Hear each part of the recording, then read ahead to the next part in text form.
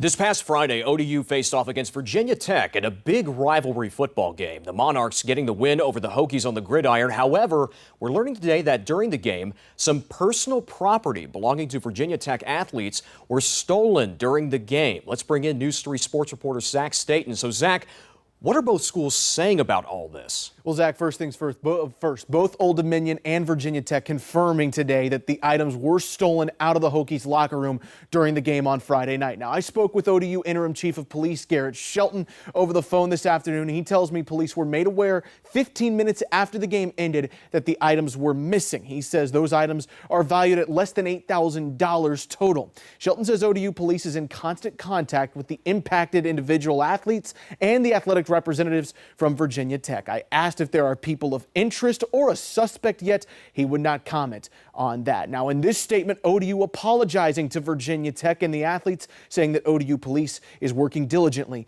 to resolve the incident. Now, I've also reached out directly to ODU Athletic Director Wood Selig for comment, but have not heard back. Certainly a lot of details, Zach, that we'll learn more on, and we'll keep you posted on News 3.